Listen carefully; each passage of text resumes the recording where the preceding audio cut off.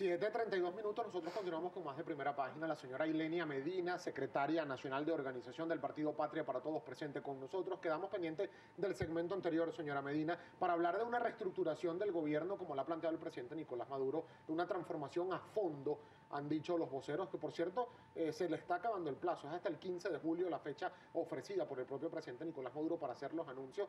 Significa que hay funcionarios dentro del gobierno que no están haciendo su trabajo. ¿Cuáles son esos ministros o esos funcionarios que desde el PPT consideran que deberían ser relevados de inmediato de su cargo? Mira, nosotros no vamos a hablar, evidentemente, por obvias razones, no vamos a hablar de, de nombres. El tema para nosotros es que la diversidad debe estar presente en las políticas.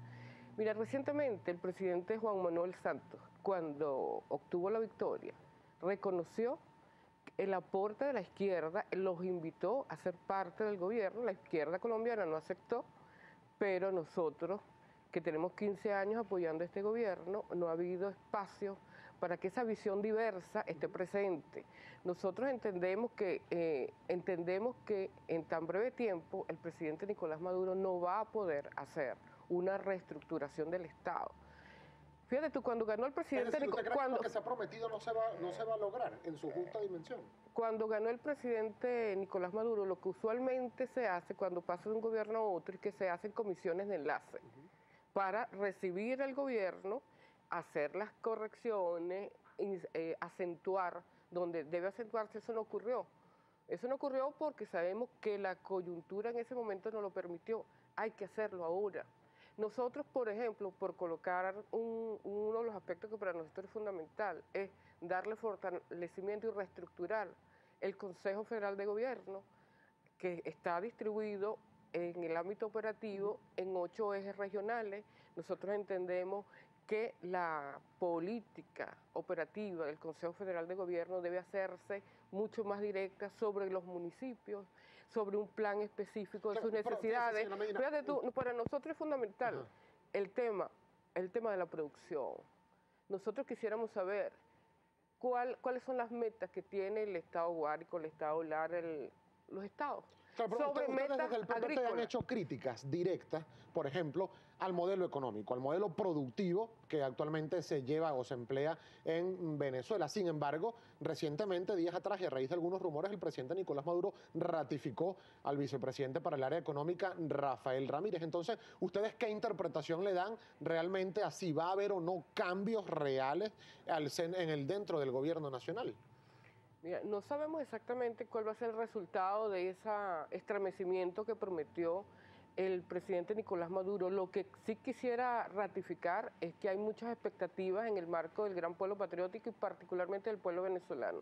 Nosotros entendemos que en 15, eh, para el 15 de julio no va a ser suficiente para que se ofrezca un resultado.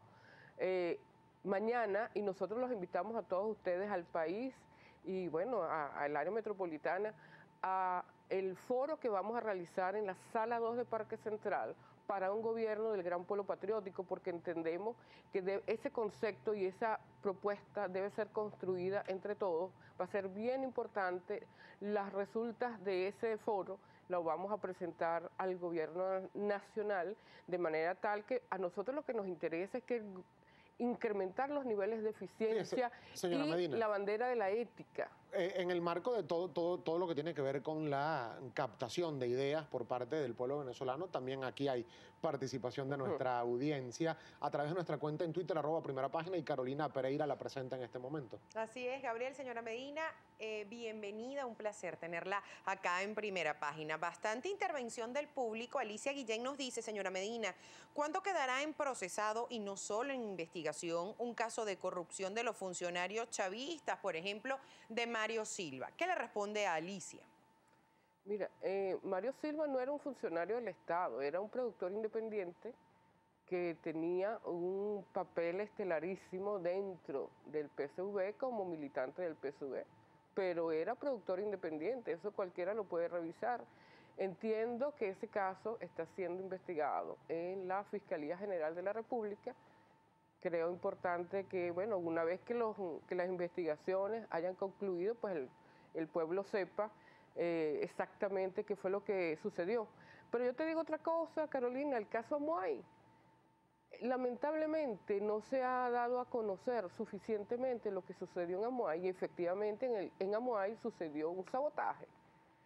La gente pensaba, lo que quiso plantear la derecha es que en Amuay eh, eh, había sucedido un accidente por razones de descuido y técnicamente con los resultados de los informes técnicos eh, ratifican que efectivamente fue un sabotaje. Creo que hay muchísimos casos que no son suficientemente informados al país. Creo que ese es uno de esos casos.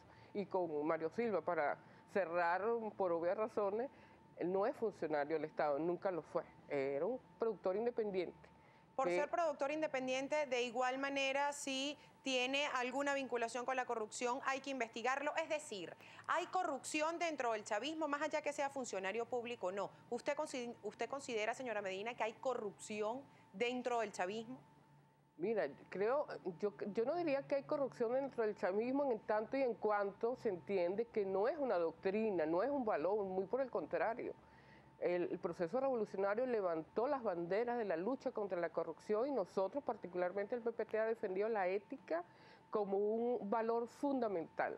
Ahora bien, evidentemente lo que, lo, que, lo que realmente me estás preguntando, Carolina, es que si el Estado en todos sus niveles está compuesto particularmente por eh, militancia del PCV, pues evidentemente la, matemáticamente implica que todas aquellas personas que tienen militancia en el PSUV y han estado eh, manejando recursos o han, estado, han tenido acceso a los recursos y han sido manejados de manera eh, ilegal, pues deben ser investigados. Eso es un aspecto que ha señalado Nicolás Maduro o Diosdado Cabello, que ha sido sumamente atacado.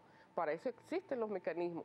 Y repito, utilizar la lucha contra la corrupción como espectáculo no nos hace bien ni al pueblo venezolano ni a la nación.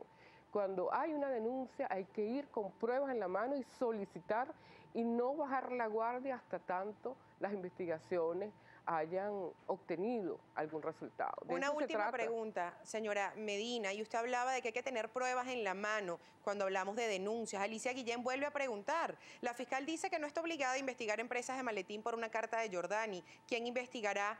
por esa plata. Lo que dice Jordani, además un hombre de muchísimos años del chavismo, no pudiesen ser pruebas suficientes para comenzar una investigación la carta por sí misma no, ofrece grandes elementos. Nosotros en la declaración que, hicimos al país luego de la conocida la carta del exministro Giordani, le pedíamos al propio Giordani que acudiera a los mecanismos jurisdiccionales competentes a señalar sus, sus denuncias. Eso es lo que corresponde a alguien que ha ocupado altos puestos en la República. Señora Medina, nos queda nosotros lamentablemente un minuto para despedir, pero no lo quiero hacer sin antes conocer su opinión en torno a un tema netamente político a lo interno del polo patriótico. ¿Consideran ustedes que hay sectarismo en el Partido Socialista Unido de Venezuela. Y le hago esta pregunta porque tal, de acuerdo a lo que usted estaba señalando, todos los ministros, todos los funcionarios son de un solo partido, que es el PSV. No fueron invitados en el PPT a participar en las mesas y en las jornadas de diálogo con sectores de la oposición.